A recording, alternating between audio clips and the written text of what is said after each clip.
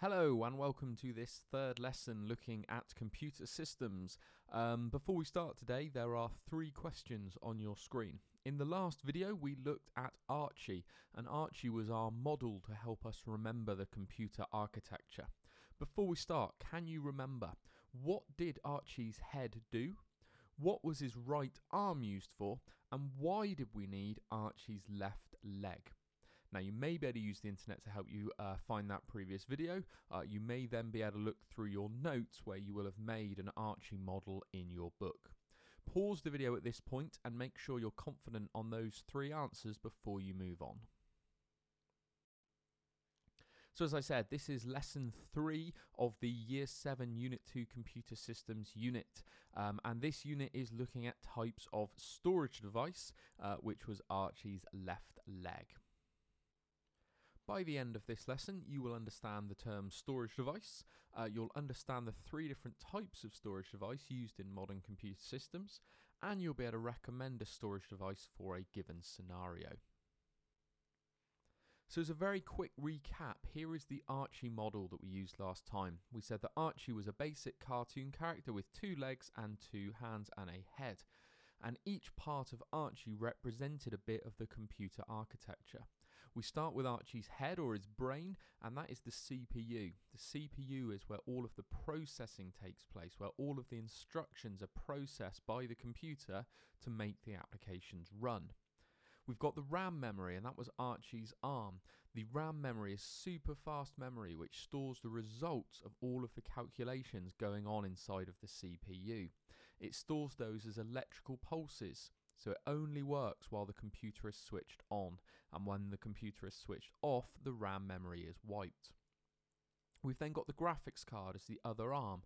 The graphics card converts the electrical signals inside of the RAM and the CPU into a picture that we can see on our screen. Without the graphics card, we wouldn't really be able to use a computer because we as human beings wouldn't understand those electrical signals. We've got the input and output devices as one of Archie's legs. That's the way of a human inputting data into the computer and getting information back out. For example, clicking with a mouse and then seeing that click on a screen. And finally, we've got our storage devices, and that's Archie's other leg. The storage devices are used to store our applications and our work for the long term, so even when the power is switched off. Our computer wouldn't be all that useful if everything on it wiped every time we switched it off. And it's those storage devices that we're going to have a look at in a little bit more depth today. So, as I said on the previous slide, we need storage devices so that we can save our work um, and we can save different applications. Our computer wouldn't really be helpful if we had to start from scratch every time we switched it on. RAM is great, but once we switch our power off, the RAM is wiped, and therefore we need those storage devices. And you can see a couple of examples along the bottom of your screen in the format of a CD, a USB pen drive, and then a hard drive. And we're going to look at each of those today. The first type of storage that we need to understand are called optical storage devices. Optical devices use a laser to scan a reflective spinning disc. Now, we'd normally think about a CD when we think of that. So, the CD spins very quickly, and there is a laser that reads data from the disc. Um, and that data is stored in the forms of little dots and little divots in the in the disk and the flat areas are then known as lands and the hollow or the pits are known as pits uh, and that will be used to represent binary, which we'll look at later on in this unit. So when we think about optical devices, you probably think of CDs, but in that category, we've also got DVDs and then Blu ray discs. CDs are normally used for music, DVDs are usually used for films, and Blu ray are then used for either 4K high definition films or uh, PlayStation games, Xbox games, that kind of thing.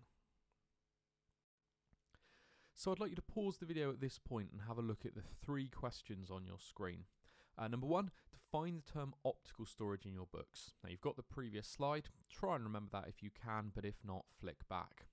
I'd then like you to use the internet to find the advantages and disadvantages of optical devices. You can write the advantages in green and the disadvantages in red. Okay, so what are the good things about CDs and DVDs? What are the bad things about CDs and DVDs? And if you've ever used a CD, you might be able to think of a couple of the bad things if you think about songs skipping um, and why that might be.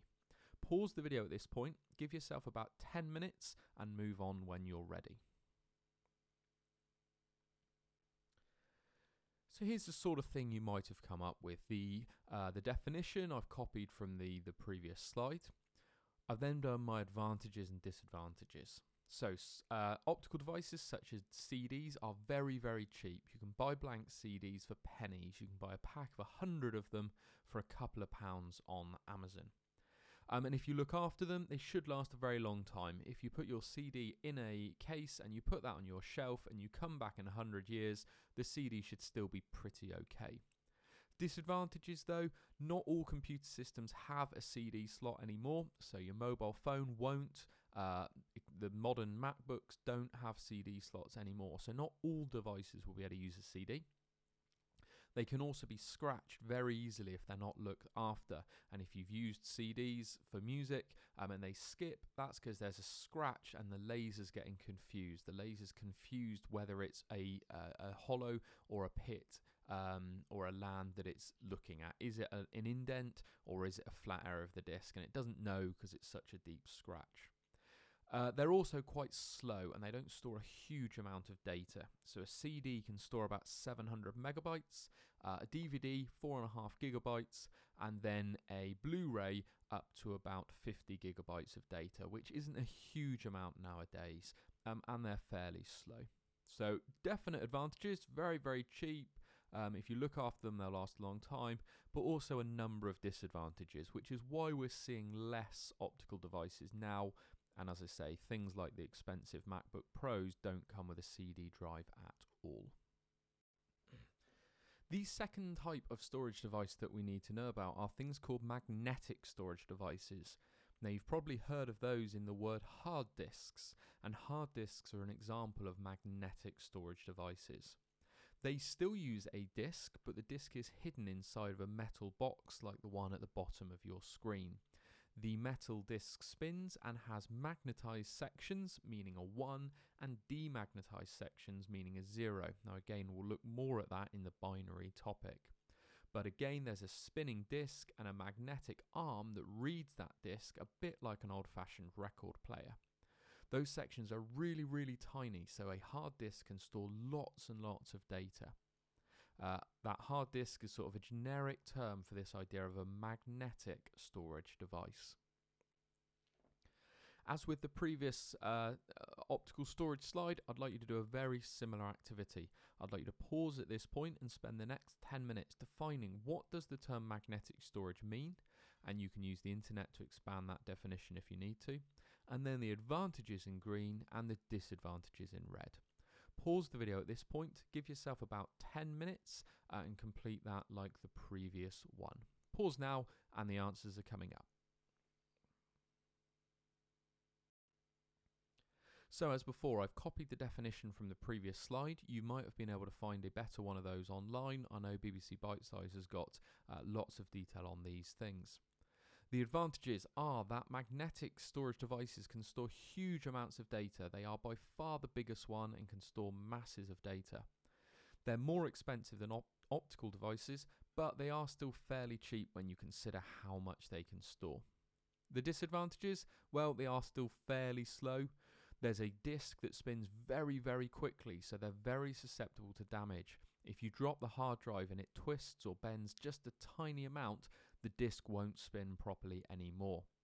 They also need to be kept away from any other kind of magnet. If you watch any kind of hacker film when the FBI comes and the uh, the hacker runs a magnet alongside their computer, that wipes all of the data uh, and it won't be able to be got, gotten back or recovered. So that's good for the hackers in the crime films, not so good for us if we accidentally put a magnet next to our PC and then find all of our data is gone. The final type of storage device that we need to understand are called solid state storage devices. Now, these are the most modern, these are the newest type of storage device. Um, and they use non volatile RAM memory. That means RAM memory that can remember the information even when it's switched off. They are very, very fast and they have no moving parts. Because they work with electricity, there's nothing moving inside, meaning they will uh, not break quite so easily. An example is a USB stick, but also an SSD, and you might have heard of that in terms of posh laptops like the MacBook having SSD drives. That means a solid state drive. Uh, the SSDs are also used in the PlayStation 5, um, and that that's what makes the game so quick to load. So, as a last one, I'd like you to define the term solid state storage uh, or SSD, solid state drives, in your books. I'd like you to find the advantages and the disadvantages in red and green. Pause the video at this point, give yourself about 10 minutes, and the answers are coming up. So the definition is on the screen and you can pause the video if you need to get that one down. The advantages though are that SSDs are very, very quick, very fast. They're also very durable because there's no moving parts. If you think about a car, cars normally break wherever there's a moving bit, the suspension or the engine. Moving bits do wear down over time. As SSDs have no moving parts, they last a very long time and they're silent. Uh, they also come in lots of different varieties. So we can have solid state drives for laptops, big solid state drives, but we can also have smaller ones like USB sticks, for example, that are still very, very portable. The disadvantage is that unfortunately they are very, very expensive. There is a reason the PlayStation 5 costs £500, and that's predominantly because uh, the SSD is very, very expensive. They can also store less information than a magnetic drive, um, so you can store less on there. A final challenge activity for today. Uh, in PowerPoint, using one slide per answer, I'd like you to outline what type of storage device you would recommend to each of the following users. So pretend you're working Currys or PC World, and the following three people have come into the shop and are looking to buy a storage device. I'd like you to outline which one you would recommend and why. So we've got Elise, and Elise is looking to build a gaming PC. She's not too worried about cost, but she does want her games to load very, very quickly. Ethan, Ethan is in a band and he wants to send a demo of his band's music to a record company in the post. And then Karen, who needs to store a database of products that her company sells. They sell over a million items, and it's really important she can install she can store all of them. I'd then like you to come up with one final user of your choice and think what uh, you would recommend. So I would do that in PowerPoint, one answer per slide. Uh, pause the video at this point because I've got some model answers that you might be able to, uh, to use to compare your answers when you are finished. So I think this is one of those questions where there's not really a right and wrong answer as long as you've justified and given a solid reason why you think each user should buy the storage device you've recommended. For me, Elise should buy a solid state drive because it will provide the best performance and it will mean that her games will load very, very quickly. It is going to cost a bit more, but it's probably worth it if what she's really interested in is the speed. Ethan, I think, should buy an optical disc and probably a CD. CDs are really cheap, so he can send it in the post, and if it does get lost, it's not going to cost him a huge amount. They're also fairly durable, so as long as he sends it in a case, the CD should arrive uh, fine. They're also fairly small, so if Ethan sends it in sort of a normal envelope, he won't need many stamps um, and shouldn't be that expensive for him to post. I think Karen should probably use a magnetic hard disk drive. Uh, she's got lots of products to store, and we know that magnetic disk is the biggest and will hopefully be able to store those million products. They are a little bit slower than an SSD, um, but that's probably not going to be an issue because I'm guessing Karen's only going to look at one product at a time. So if it's a little bit slower to load, that's probably not the end of the world. Now, again, those are just my answers. As long as you've given a decent uh, justification and a decent reason why you think the person should buy the storage device, uh, that's fine. These are just the model ones that I think I would have put. So, hopefully, you now understand what the term storage device means. Uh, you hopefully know the three different types of storage device that we need to know in the GCSE Computer Science course. and you're able to recommend one of those for a given scenario. If not, flick back through this video and have another go. Uh, message your teacher on Google Classroom or drop a comment in the comments section below. Thank you very much for watching.